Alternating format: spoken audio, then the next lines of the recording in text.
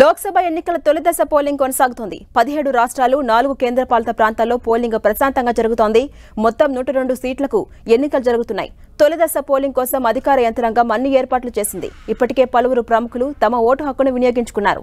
తమిళనాడు ముఖ్యమంత్రి స్టాలిన్ ఆ రాష్ట్ర బీజేపీ చీఫ్ అన్నామలై సినీ నటుడు రజనీకాంత్ కమల్ హాసన్ ఇతరులు క్యూ లైన్లో నిలబడి ఓటు వేశారు. ఇక ఉదయమే ప్రారంభమైన పోలింగ్ సాయంత్రం ఆరు గంటల వరకు జరగబోతోంది.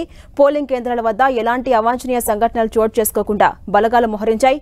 ఎన్నికలు జరుగుతున్న స్థానాల్లో పదహారు వందల ఇరవై ఐదు మంది పోటీ పడుతున్నారు. పదిహేడు రాష్ట్రాలు నాలుగు కేంద్రపాలిత ప్రాంతాల్లో జరుగుతున్న ఈ పోలింగ్ పోలింగ్లో పదహారు కోట్ల మంది ఓటర్లు తమ ఓటు హక్కును వినియోగించుకుంటున్నారు. ముప్పై ఐదు లక్షల మంది తొలిసారిగా ఓటు వేయబోతున్నారు.